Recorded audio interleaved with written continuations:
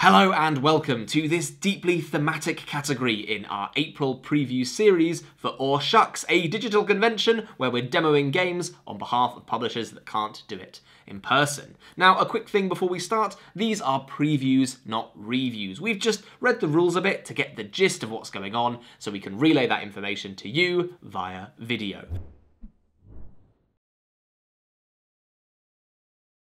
And first up in this video, we're talking about Dialect from Thorny Games. Dialect is a role-playing game about language and how it dies. Throughout the game, you and your friends are going to be creating an isolated community who, as part of their isolation, develop their very own language that will reveal truths about themselves and their world. Now, that all sounds a little bit lofty and complicated, but don't worry, Dialect is quite straightforward. First off, when hosting a game of Dialect, one player will take the role of the facilitator, guiding players through the game and making sure everyone is included. They will, of course, take part in the game itself, but their other role is to make sure that everything runs smoothly and everyone is having a good time. Now, once we've chosen a facilitator, the players will start by building their isolation.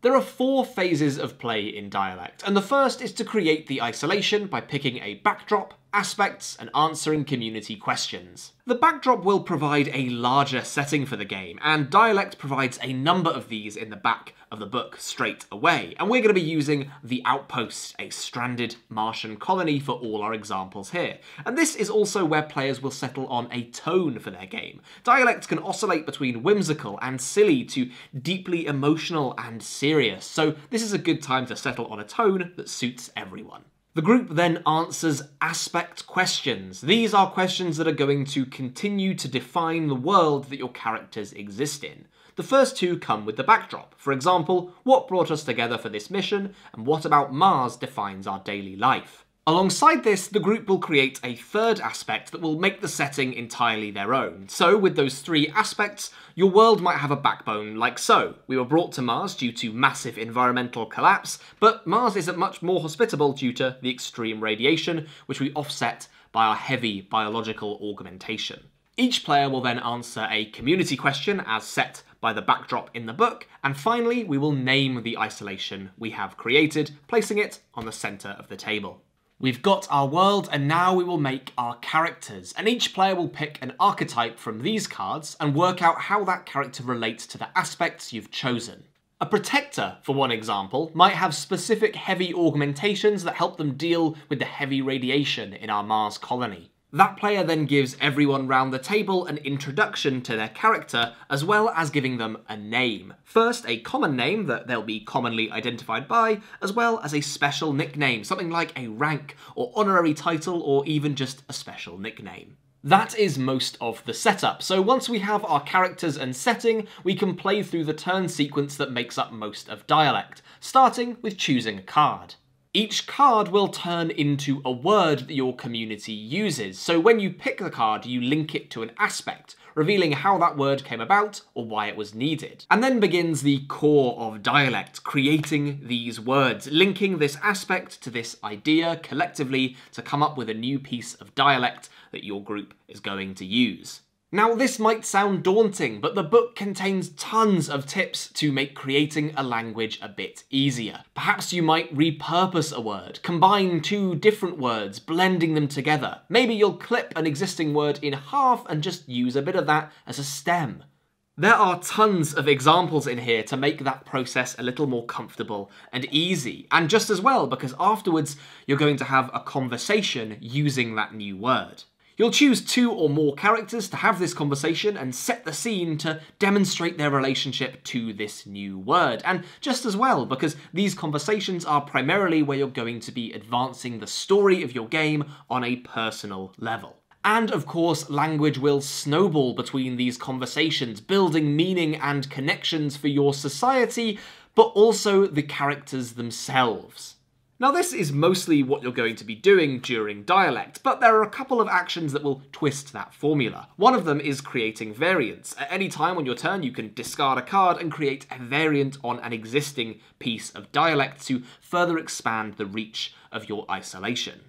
Action cards represent special turns, unusual circumstances, or strange ways that language enters the group vocabulary. These might show language evolving, or proverbs being created, or the sound of the words themselves changing. Some of these will have you create a word in an entirely more literal and direct way, using roots and stems built into the appendixes in the book to create something from scratch. There's even cards in here to create words that are hyperbolic or euphemistic, fleshing out the world to new extents. Eventually, ages end and languages move forward. Once everyone has taken a turn, we read a transition prompt that marks a change in how our language is understood.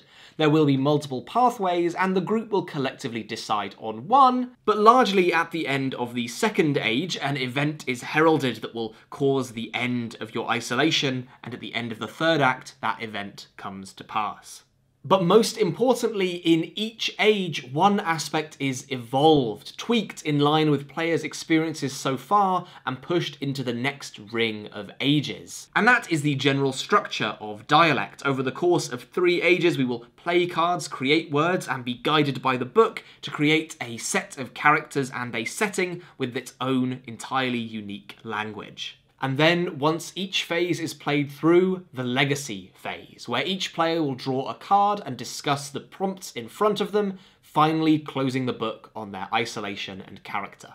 And that is Dialect, a game about a language born and then eroded. I'm really in love with the presentation and impressed by the brevity of the rules to complexities and intricacies created within the gameplay. There is a truly compelling idea driving this thing, and mechanics to back that idea up. And on a personal note, Dialect ended up being the last AwSHUX preview that I filmed. And I was saving it till last because I looked at this rulebook and went, that's not a big rulebook, but it's the biggest I've looked at so far. Far from it. There is a simple core here that's very easy to understand, backed up by lovingly rendered examples and tons of illustrations, and some fascinating little bits at the end on dead languages. I was quite amazed at how this game made itself approachable and easy for people to get into despite a potentially daunting pitch. And that is Dialect, a fascinating game all about language from Thorny Games that is available online now.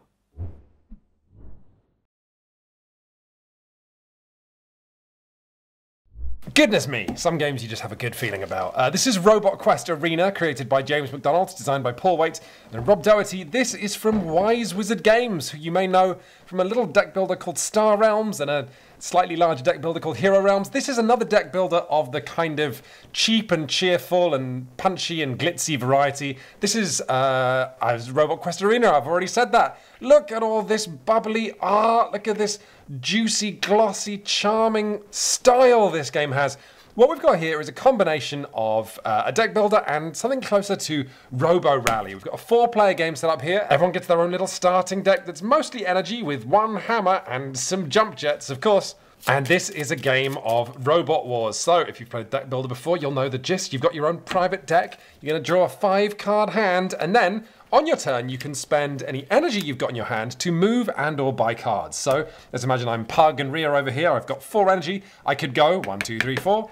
Uh, I could actually go one, two, three, four, because if you start your turn in this blue thing without other players pushing you out, you're going to get a victory point.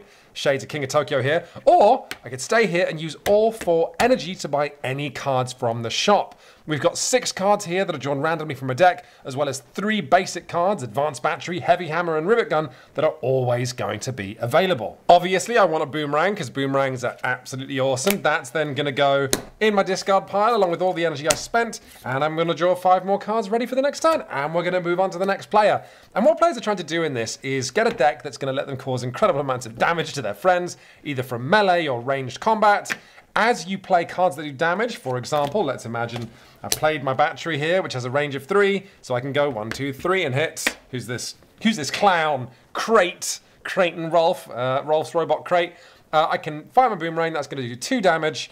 Uh, and the damage that I'm taking off of Crate here, that is going to go straight to me as victory points. Yes, every damage you do to someone else is a victory point. That last cube, though, that everyone has, that's two victory points. So getting a death blow is worth a few extra points. So what happens if I kill Crate entirely on my turn? Either by shooting him or hitting with a hammer, or, excitingly, pushing him into a wall or a pillar um, with my movement, which is also something you can do. Uh, that robot is removed, it's destroyed, but don't worry, that person is not eliminated from the game. This is an easygoing family fun time thing. At the start of Crate's next turn, they're just gonna come right back onto the board in any of the four corner respawns, and they're gonna keep playing.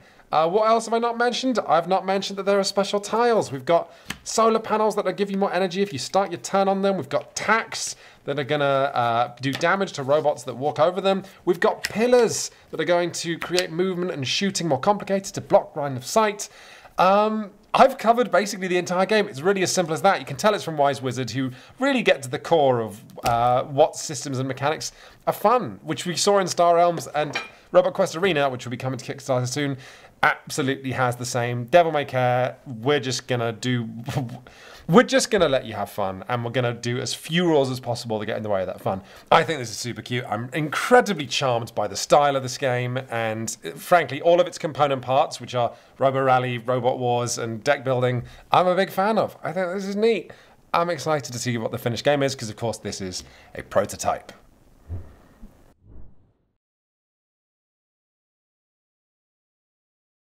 Europe Divided is a two-player game about vying for control over post-Cold War Europe. One of you will play as Russia and the other as EU and NATO, both of you trying to outmaneuver and outsmart your opponents to exert your influence over the land. The game of Europe Divided is made up of 20 turns, and each turn involves an action segment and a headlines segment. In the actions segment, each player plays two cards from their hands to both claim initiative and take actions. The player who has the higher sum total of cards will play their whole turn, followed by their opponent. Actions in this game are entirely driven by these cards, and each card shows a number of possible actions that you can take. Some symbols will let you place and increase these influence dice to exert control over regions. And if you manage to get that dice to a 5 or a 6, then you take control of that region and add its own card to your discard pile. Placing that dice will often cost money, and that's why on some of the cards there's an option just to take some money. This one will gain me 4 money, which I can then spend on more dice. But money can also be spent on building armies, which can be moved for another one of these actions, once for free or more for a price.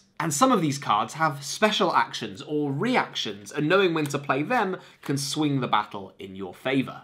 Most of the advantage cards that players will take from seizing these regions in Central or Eastern Europe will give you these special actions, so knowing what your opponent has at their disposal and what you can use against them is key. But most of these cards will relate to the interactions between dice and armies on this board, with simple combat where pieces are removed in a one-to-one ratio. Complicating this are these influence dice. If they're ever at a full 6, then they eliminate armies on arrival, but reduce themselves to a 5 in the process. And to further complicate this, the Baltic and Black Seas have their own advantage cards that allow quick movement across vast swathes of territory. And on top of that, each player gets special advantage cards that can be spent for money or a special action or kept for points. Now once players have resolved their actions for the round, we move on to the headline phase. There'll be a constant conveyor belt of these cards throughout the entirety of the game, offering up juicy scoring opportunities for you and your opponent to seize. If the headline conditions are met by the corresponding player, then they'll gain all the awards listed on the card. But players have some control over what headlines come out when, as they start with a hand of them, so knowing that a headline might be impossible for your opponent to complete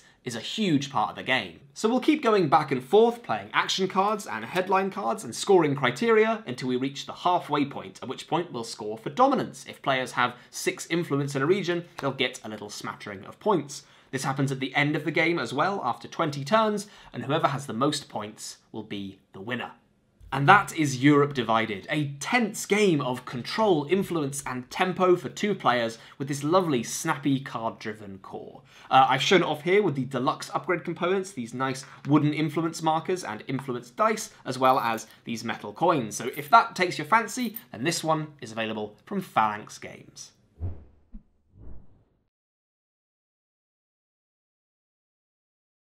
Up next, we have a game that's going to put the sand in your sandbox. Uh, sand meaning like grit, like Wild West kind of toughness. Uh, this is Bantam West, put out by Bantam Planet. I knew I was that was a memorable publisher. Um, and what we have here is a Wild West uh, extravaganza that is going to be familiar to people who might have played Matago's uh, recent game, Western Legends. But honestly, unboxing it and setting up all these lovely little components reminded me of um, when I was unboxing big boxes just bursting with stuff like Fantasy Flight's Imperial Assault. Um, but where Imperial Assault was largely cooperative, um, what we have here is something very, very competitive. This game's mean. Um, this is a Wild West game. What I have set up here is the simple game, the kind of introductory game uh, using the field manual, but there's a whole um, advanced manual full of advanced concepts that I'll get to later. This is just the learning game. We have a two-player game here. We have Jericho Jones, the merchant, versus Hannah Wild, the arsonist, which I, I, mean, I wasn't paying attention, but I've seen arson in like several Wild West games. It's becoming a character trait, and that's fine. I've got nothing against arsonists personally. Um, you got to do what you got to do. Uh, Quinns, focus.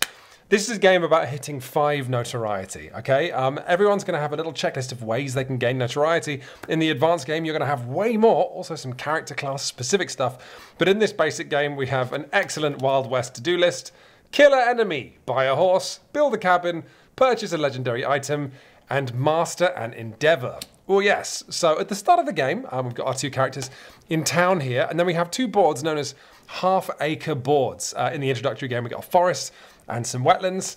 And well, um, I'll describe the sort of surprising no one, you can shoot and kill one another. You can go to the general store and spend money on guns and then go after your friends with a shotgun. And you can actually burn their cabins down. Um, but uh, to begin with, uh, you're probably going to be focusing on uh, just getting out there and doing some logging and foraging. Generally speaking, in Bantam West, there are going to be different sort of areas of wilderness that you can go to to practice different things, like including in the advanced game trapping and mining. But in this basic game, we've got logging and foraging. So uh, the turn structure is pretty simple. On your turn, you use one of several action tokens to take an action, which might be moving from one board over to another board and then moving from that board and doing another action. Well, I mean, actually, we've got some bears and some bandits that you're going to want to try and defeat.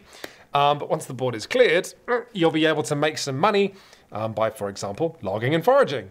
Uh, then you can go back to town and sell stuff at the general store. You can use your money to buy all kinds of fancy weaponry or a mount that's going to let you move faster. You're probably getting the vibe of what kind of game this is now. Um, but what really tickled me is there's just a little dash of Eurogame in here, okay? Because what you can do um, is actually set up a little engine, as frontiersmen would have in these times. Um, you can go and spend money collecting a blueprint for a cabin and then you can, if you trek off into the wilderness with your cabin blueprint and enough lumber, you can then set up a little cabin in the woods. And that cabin is going to be occupied by homesteaders who, well, I don't know if, I don't know if homestead is the right word. I'm English. Uh, the wild west of England is Cornwall, and frankly, it's not wild at all. Um, but once you have a cabin, over time, that cabin is going to gradually fill up with resources unique to that board. So if uh, Jericho here were to set up a cabin in the wetlands over here, that means it's going to acquire these kind of wetland uh, forage tokens. Um, and they are going to go into my adorable little cabin blueprint.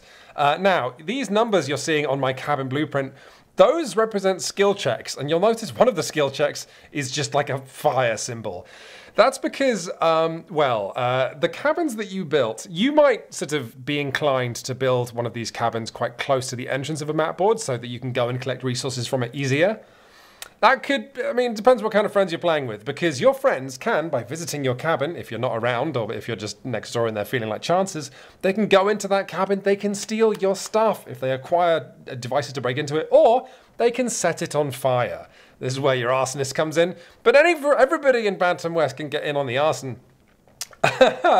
uh, they can set fire to your cabin, and then it's up to you to try and burn it. I mean, quench the fire fast enough. Uh, players can also hide in one another's cabins. In the advanced game on the mountain board, you in fact have to overnight in a cabin, otherwise you're going to get frostbite. And players can break into one another's cabins just to shelter there, um, which I thought was really thematic, really quite cute. Um, but that's, uh, oh, I should also describe how combat works. Combat in this game is pretty neat. Whether you're taking on an NPC or another player, um, combat works the same, and you'll see these colored rings uh, all relate to line of sight. You might have seen this system in games like Tannhauser or Unmatched. Um, all the coloured rings mean is that same colours can see one another. So if you're in a pink coloured ring here, and I'm in a pink coloured ring here, and excitingly you'll notice nothing stops you from having fights with other players right in the town where all the shops are. In fact, that's actually a pretty convenient place to have a fight because it's where the jail and the doctors is. Um, but if players are in light coloured rings, that means they can see each other, and one player can start a fight. At that point, you're both going to grab your combat decks, and you're going to play a game involving a little bit of hand management because players are going to take turns to choose a card and then reveal it at the same time. And I'm, I'm referencing lots of other board games in this uh, in this preview, um, in a in a manner that you may remember from Fury of Dracula. Um, cards might cancel one another out. So if you go to tackle someone, that's going to be great if they were blocking. The attacker will then resolve their card first, hopefully doing a bit of damage, and then the defender will resolve, and then you'll go again, but you won't pick that card up. So you're choosing your next combat card from a diminishing hand of actions, which is a mechanic I really, really like. This will continue until someone has moved out of line of sight or one of you has just collapsed. If the attacker is the one who uh, ends up having their vitality go down to zero, the attacker then goes to the jail, which I'm reading this upside down, is oh, the jail and the doctor is one building. That's, that's very convenient. Again, um, if the attacker uh, fails the fight and collapses, they go to jail. But if the defender goes to fight, go, uh, loses the fight, then they go to the doctor. But whoever loses the fight, they're going to get robbed by the other player. You have a sort of shopping list of things you can take, uh, like their guns or their money or any resources they have. Um, and that's extra good, obviously, because not only do you have more resources, but you took them from your opponent. That's, uh, that's lovely stuff. But um, what you can see on the table, this, sprawling array of stuff, this is just the beginning of your uh, Bantam West experience. Um, if we have a look through, ah, ah, ah, just ripped some, I'm sorry, buddy.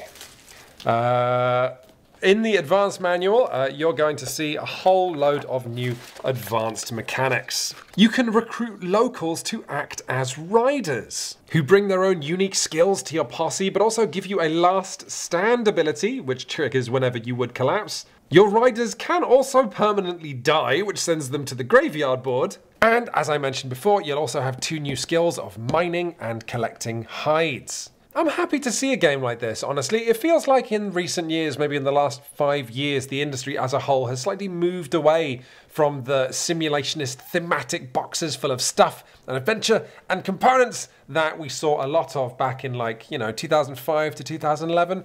Um, it's nice to see that some people still just want to tell a sort of rootin' tootin' good story with a lot of players shooting one another. Uh, I approve. Let's see what the next game is.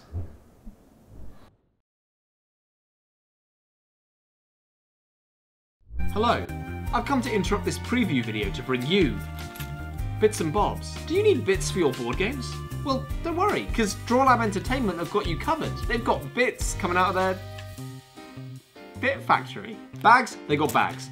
Coins, they got coins. Boom, you've got your copy of Abandon All Artichokes. It doesn't have coins, but you want to add them. And now you can, in stunning Cthulhu or tree flavour.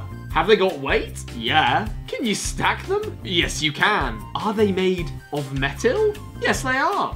And that is coins. Just don't put them in your mouth because then the lovely patterns will rub off. Just look at these lovely patterns etched into these coins by tiny coin-sized people no bigger than your fingernails. But what if I want to keep my coins inside of a bag? Well, don't worry. They've got you covered there too. These svelte, cushioned game piece bags can hold whatever game pieces you could possibly need them to hold. I've got mine in two flavours, Dragon Bag or Dragon Bag in a Bag. These are soft to the touch, they've got bold colours and they're lovely on the inside too, and bigger than you'd expect.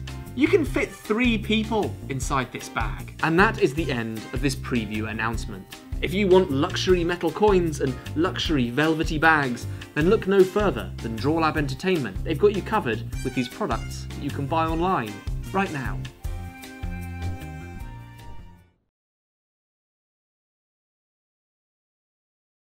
Fired Up is a futuristic arena combat game, but one where you and your friends do not play the fighters in the battleground, but instead the crowd watching on. During the game, you're going to roll these influence dice to try and manipulate the fighters to your will, and trying to score these highlight cards you've got in your hands, creating great highlights for the fans at home. At the end of just four rounds, there will be one fighter standing, and the player who has got their way the most and earned the most points will win. At the start of each game, we lay out these fighters in the middle circle, assigning them all a speed value. Then each player takes a big chunky hand of these purple influence dice, as well as some highlight cards. These are the objectives they want to score during the game. And as well as this, they'll take their own personal hand of fighter cards they can use to place bets on the outcome of the battle. The game is played over four rounds, and each of those four rounds is made up of two simple phases. The first one is the influence phase, where players will roll these dice and use them to manipulate the fighters to set up these highlight cards to score points. We'll get to those a little later. And then the second phase is the battle itself, where we roll these dice to resolve combats between each of the fighters as they duke it out in the arena. At the start of each influence phase, each player will pick two highlight cards that they're going to score or try and score this round. I've gone for Unexpected Strike, which means the fighter with the lowest damage needs to deal one wound, and Parry, which just means that I need to get two dice to be blocked this round. Once you've chosen the two that you're going to score, you then take up your hand of influence dice, and in turn, players roll this hand. You get one opportunity to re-roll, and once you've done that, you can choose any of these dice to activate on one of the fighters fighters around the table. Now what do these dice do? We're going to go over that in detail now. This face of the die is a buff, which lets you move up the corresponding symbol on that fighter's track, meaning they can get higher attack or higher defense. This dice is the morale dice. You place it on these slots here, and morale will change in that direction at the start of the battle. The target dice lets you change a fighter's target or lock in that target. The social dice is where things get interesting. Spending two of those will allow you to take any dice action that you want, which is very useful, or you can store those social actions for later, taking this symbol and putting it in front of you to spend at a later date. But their most interesting implication is betting. If you spend one of these symbols, you can place a bet on this board over here. For example, I might think that Rexus is going to be the first fighter eliminated from the game in round one. And if I get that right in the betting phase later on, I'll score a little juicy crop of points, which is pretty interesting. The last face of these dice is the double action, which lets you duplicate any action you would already be taking. A double social, a double buff, a double morale check, the choice is yours. Once players have collectively exhausted their individual dice pools, we move on to the battle phase, where things get bloody. The first thing you'll do is check each fighter's board for a balance of thumbs up and thumbs down. If they are equal, then nothing happens, but if there is an imbalance, then their morale marker moves towards that side. And this does something pretty juicy. The markers corresponding to defense and attack for that round will slide into the highest space in that row, which can be pretty damaging or incredibly useful if you want to boost or lower a certain fighter's stats. Once we've checked everyone's morale, it's on to the fighting itself. But before we get there, I should explain highlights. Each player is going to get a couple of these, and they're going to choose them at the start of the influence phase, and it will show you when you want these things to be achieved. If it says fight, that's during the fight itself. As soon as the prerequisites happen, you can play that card and score some points.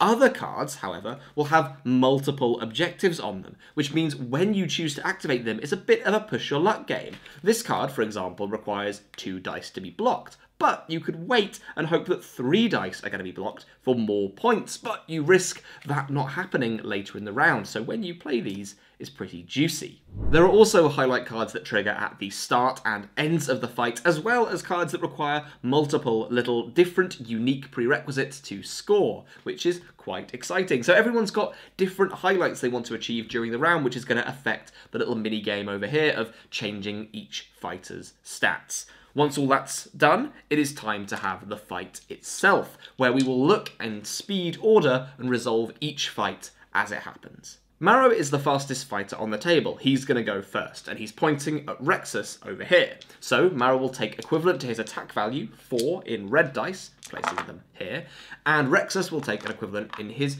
defense dice. He has also got a stat of 4, whoop, placing them over here. Then we will roll these two fighters against each other like so. You'll then match up any symbols on these dice to work out which body parts are being hit. Here we can see that there has been one red head attack to two blue head defenses, which means that damage will be dealt. If ever there's an imbalance, damage gets dealt. If defense is higher than attack, the attacker takes counterattack damage, one for everything over. And then if there's an imbalance in the other direction, with attack and no defense, then the defender, of course, takes damage. They'll take two stamina damage here from these two chest hits. And if multiple hits are dealt to the same body part, that attacker will also take a wound. If you ever completely run out of stamina or take wounds up to the value you are permitted to on that fighter, that fighter is eliminated from the game. These eliminations might also trigger bets to go off. So if Rexus was the first to die, remember, we betted for him in the first round so we would score a bunch of points. And as well as that, if any other players bet on top of us, they would score lower based on this ranking system here. So it pays to be the early bird. And that is basically all of Fired Up. There's a couple things I didn't explain, like how each of these fighters have their own special abilities, as well as there being another fighter in the box, so you'll never have the same roster twice. But at its core, it's a fairly simple game of chucking these big, chunky dice and trying to manipulate these fighters to your ends without people getting in the way, so you can score lots of big, juicy highlights. There's a lot of risk management in this thing that I was surprised by, and pushing your luck mechanics with a kind of solid beat 'em up core. So that is fired up from Drawlab Entertainment, seats between two and five players.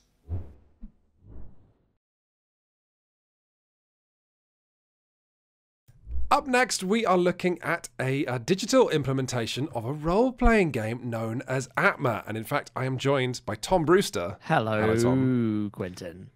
How's it going? It's, it's going fine. I'm ready to look at some cards in the digital space. Yes, you will. So if I just tab over now to uh, to the Atma Kickstarter, you'll see that what this is in, in, in the physical world is a box that is absolutely packed full of cards. Cards which are going to help, uh, in this case, me and Tom, to tell a story. Um, this is. Uh, from start to finish, just trying to make the act of role playing and creativity as easy as possible with tons and tons and tons of cards which are going to act as prompts so you tell unique stories every time. So, Tom, as I understand it, if we scroll down to the page here, you've chosen to play Maud the Doctor. I am Maud the Doctor with her lovely blue hair. Uh, yes, and if we zoom in here, we can see a couple of things about Maud that I really like. Um, when you braid your hair, you get to do a roll um, and cut plus calm, Ooh. and on a seven plus, you can weave a rope, lasso, or a garment. Oh. And also, I love this detail. You have a purse filled with surgery supplies and candy. Uh, Maud sounds like uh, she's a relaxing person to be around. Uh, but Tom, if you look here on this card next to you, uh, you have your first move unlocked. So this is chasing the truth. This is kind of like your skill. If you've played um, games like powered by the apocalypse games, um, which is a term meaning games inspired by Apocalypse World. Uh, they all use this system that's used by Atma. Um, you you will have what's known as a move, and when you, in the case of Maud, chase the truth. Um, it, as it says here, you are fascinated by mysteries and the fame earned from solving them. Uh, you can ask the GM for a prop uh, or extra, which is a sort of character, and set it aside and theorize how it's connected to the story. Uh, take plus one to rolls which test this theory. Um, so, Powered by the Apocalypse uh, games tend to give players real flexibility when using their move to do very, very cool stuff. Um, but, Tom, are you still with me? I'm still with you. I understand you moving.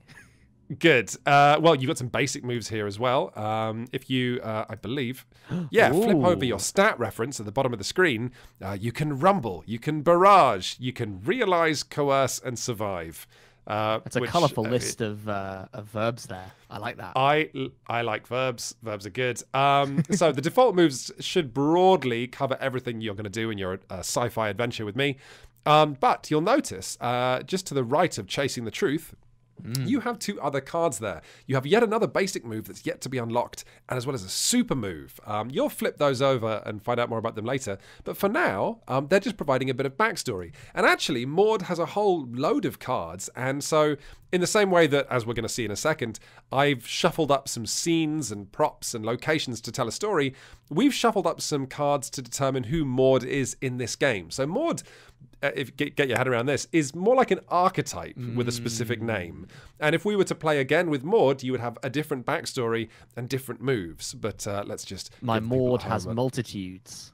your contain your Maud contains multitudes, and if we give this a flip, uh, you are going to unlock. Uh, if we if you don't completely uh, screw the pooch on this, you'll unlock the bedside manner move and your super move. Overflow. Uh, I'm going to zoom in on this. Ordinarily, this would be a fun reveal later on in the adventure, but Overflow, a massive well of bioenergy has built up in your cells. The next time you collapse, release a pulse that heals or deals one harm to everything in sight but that is for later. Um, so that's your character, and see with just four cards here drawn randomly, um, I've got a kind of pretty fleshed out idea of who Maud is. Uh, now let's just scroll up and see what cards I've got as the games master. So um, if we flip these cards over, uh, we have been dealt a backdrop and a story. So uh, if I flip this back over, the Taiwu rig, um, I won't read this all out loud, but it's basically a kind of oil rig that's built over a maelstrom, uh, and below that maelstrom is a city. Um, and uh, let's let's read this out loud. The scientists examined Atma's effects on seawater, gravity, and even the newborn ghosts who coalesce within the storm. Um, so that's a that's an evocative place to set a story. And if we zoom in on the caretaker here, this is the story we're going to be telling in this completely random distribution. You have been sent here to try and take care of um, the AI uh, that exists on this oil rig. And your goal, written at the bottom here, is to detach Guanli's sanctuary, uh, which is the kind of uh, safe place the AI has built for itself. So you're here to rescue the AI. But if I click, you can't see this, Tom, so you'll just have to use your mind. But if I click on this button on the bottom right to go to my collection, you can see here within the Taiwu Rig backdrop, I've got five different stories we could be playing. I've got pots of different scenes and extras and props and twists, all of which I can incorporate. Um, so I think you would have to really struggle to have two games of Atma that play uh, more or less the same. And I can just click here to go back to the table. So um, I really can't overstate how how easy the structure of this is. We've got th- the the entire adventure, which shouldn't take more than two hours, is played out using three random scenes. And again, I'll spoil this for the people at home. The first scene is going to be in the living quarters, which give us just um, some prompts and some fun stuff that uh, that we could play with here. Then, in, if we flip this card, uh, the second scene in our story will be set in the Shinsheng core, and the third scene, the finale, when Maud will have unlocked her special ability. Ooh, a Maud hunt boat. Let's zoom in on this. The Ulanga Armada's hunt boats have AI captains, deck-mounted harpoons. Um, I got uh, excited when you said a Maud hunt boat, but it's Maud like that, not like Maud me. Oh, well, I mean, hey, Tom, in the world of role playing games, we are only limited by our imagination. But I'm just going to show one more thing. So, as you roll dice, um, and I, I don't actually have a button to roll dice, I believe only you do that. Oh, the should I click it? Yeah, see what happens. Oh, oh, there's lots of different things here, Quinns. I've got a dice in the middle. It's got a three, and I'm rolling it. Oh, hey, Tom succeeded with a roll of three and a six and a nine, and I earned a token. Okay, this is great. So, um, as you do moves uh, in order to achieve stuff within these scenes that we've created, you're giving me tokens. And if I click the spend tokens button here, uh, you can see, oh, I can spend tokens to play an extra, a prop, a twist. I can deal harm. Um, and all of these see me rummaging through decks of cards. So, ooh, I've, I've chosen to play a twist. Mm, ah, let's absolutely play this. So every time that you roll dice, whether you succeed or fail, I get tokens that I can spend to juice this story up a bit. And of course, I've chosen the tsunami card. Uh, if you couldn't see the sky before, you can now. The first wave tears walls and water aside like paper. Uh, you might discover that the scene is exposed to the raging sea, debris crushes everything in its path, or a third wave towers overhead. So that has hopefully given you a, a rough example of um, of what Atma is. A game that uses art and cards and decks and uh, and a lot of randomization, so that uh, while a lot of imagination is involved, nowhere near as much imagination is involved as as, as in other role playing games. Because the cards are almost like panels of a comic book that we can sort of jigsaw together to tell any story we want. I've accidentally backed out of all the cards, so we should we should stop this preview here. Uh, thank you very much for your help, Tom. Thank you very much for teaching me all about Atma, Quinns. Thanks. Good. Goodbye. Goodbye. In a country, there is oil, and you, the benevolent oil company, want to help everyone out by making yourself loads of money. This is peak oil, Profiteer, a game about money and money. And during this game, you're going to be drilling for oil, you're going to be dealing with these local factions, and you're going to be doing your best to try and screw over your competitors. And now, to keep your whole gig nice and comfortable, you're also going to be wanting to sell weapons to these people who live in this country and trying to keep the corruption levels nice and high, but not too high because that will cause the game to end, and you don't want that to happen. Now, it's important to mention that this game is effectively zooming in on the oil regions in the designer's other game, Peak Oil, uh, examining the implications of taking the drill for oil and selling for oil actions in those games. It's it's a bigger version of those actions. Uh, so with that in mind, let's learn how to play. This is the main board, and we've got a country split into regions that are separated by numbers on dice. These regions will contain oil fields, and these oil fields are connected to the coast, to harbours. We've also got regions where the various factions of the game are going to start the National Liberation Front, the government, and the URF MF. And these are places where selling these weapons to these factions is going to be lucrative. You can see along the side here, we have these faction tracks that are setting the prices for bribing, selling weapons, gaining drilling rights, and selling oil. And we've also got a corruption tracker along here, which is effectively a round marker for the game. Now, we'll quickly take a look at the cards in the game. Uh, first off, we have these cards up here, these event cards, which are going to flip each round. Uh, and we have blackmail cards down here that we can use to bribe the leaders, these various leader poker tokens. poker tokens, poker chips. But most importantly, we have our five action cards here, which will show us all the different actions that we can take in the game. We'll play one of those each round uh, to take the corresponding action. Before we get into the game properly, I want to talk about these leaders. Uh, each faction, not player, has a political, military, and religious leader. And whoever owns these leaders will be able to sell them weapons or buy drilling rights from them. And each leader has their own unique power. The political leader gives you free drilling rights, the military leader lets you intercept oil, and the religious leader will let you take control of the other leaders in the faction without needing blackmail. And how do you get these leaders?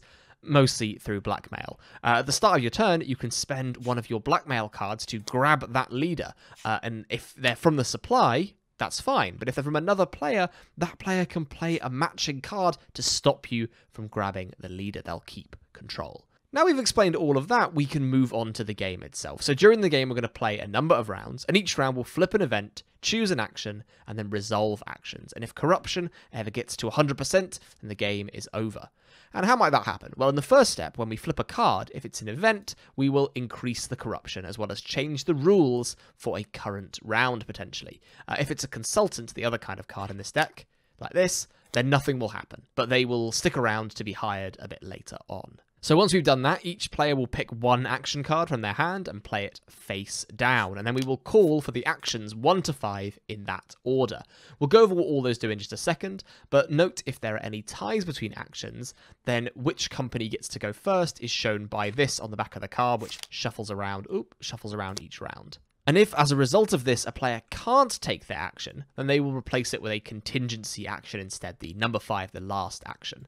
So let's go over these actions. Action 1 is networking, which is effectively a euphemism for digging up dirt and bribing officials. This will get you blackmail cards, and it will also give you the opportunity to bribe a leader. Paying money to bribe them, shown on this track here. So at the start, very cheap to bribe any of these leaders. You'll pay the money that you're putting towards that bribe to the player that currently owns that leader, or you will pay half of that money if the leader is currently not owned by any player at all. Action 2 is selling weapons. Uh, you'll pick a faction that has troops still on its track, and you'll take money equal to the rightmost cube along that track. So 8 money for selling to the URFMF, and that will get lower as these troops are deployed onto the board, because as soon as you sell that faction weapons, you will get to place one of their troops onto a space that that faction controls. If you place it on one of these spaces, so if this red faction controlled this space, you'd get an extra $2 for selling them some guns. Regardless of where you place them, once you have placed a cube, you will then roll a dice, and the cube will move in that direction. So we've rolled a 5 here, so the cube will move this way, because the 5 is shown up here, into this region over here. Now, if two pieces ever meet, they are destroyed in a 1 to 1 ratio. That is war. Pieces are moved at 1 to 1 ratio, because in war, everyone loses, unless war is your business. Uh, here's the thing. Troops on the board means that a faction will be stronger. You can see as we decrease this number of troops, it'll change the prices of everything they're offering. Uh, it means that they'll give you less money for weapons. Now they've already got troops on the board. They'll be more demanding for drilling rights and bribes. Um, and you'll get less money when you use their ports to export oil. So this action is super important for manipulating the board state in many ways, which you'll see come into play later. Action 3 is to buy drilling rights. This is where you pick a space that a faction has control of. You pay them the current price for drilling rights, so it would be uh, $4 here to buy this space off red. And you will then place your player pawn onto that space to show that you own rights to drill in that space there can only be one player in any region at a time, and the only way you can buy out a region is if the player currently there does not have a leader of that faction. So purple would need a red leader to make sure that they keep control of this. If they didn't, then someone else could sneak in and get drilling rights for that place and boot them off by buying them out. Action 4 is to sell oil, and this is where you choose a region where you have drilling rights and then pick a port that's connected to it. And that will allow you to use up your right to drill to make some money. Now, when you do this, you must consult the track over here to see how much that faction is going to let you sell oil for. So the red faction, uh, we can sell oil at 35, so we'll get 35 bucks for that sale, which is pretty huge. But obviously, they're more fragile than other factions because they've only got two troops on the board at the moment. But importantly, if those regions are uncontrolled, if nothing was there, then you'll only ever get the default price of 15 for selling oil. And on top of that, this is where the military leader comes into play. So yellow is selling oil from this oil rig up here down to this port here, and all of that is red territory. And purple has control of the red military leader. If this was the situation, then red would get 10 money off of yellow for the privilege of selling through a red port, which is pretty huge. The very last action you can take is contingency, and if the top card of this event pile, so if this was currently a consultant, you would get that consultant and you'd get some powers, which is pretty neat. Uh, and if it's event, you would follow the text on the event. It's nice and simple. There are tons of special bonuses from these cards. I won't go over all of them, but it's nice to know that they are there. And thus concludes a pretty speedy teach for Peak oil. The game will end if corruption ever reaches 100%, and whoever has the most money at the end is going to win. Uh, there's some bitey political moving and shaking here, and some brutal capitalist leanings. So if you're into mean games of selling oil and being an awful, awful business boy, uh, then check out Peak Oil Petroleum Profiteer from Two Tomatoes Games. It is available here in Tabletopia or physically in a box with real life poker tokens.